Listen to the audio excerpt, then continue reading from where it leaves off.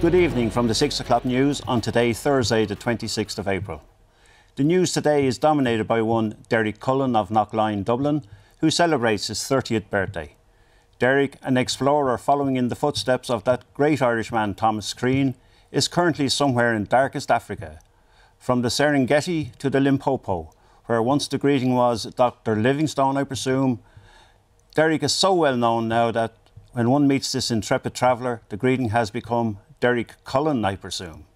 An expert on game reserves, bungee jumping, whitewater rafting, and skydiving, Derek continues to expand his knowledge and our knowledge too of the emerging markets for tourism in Africa.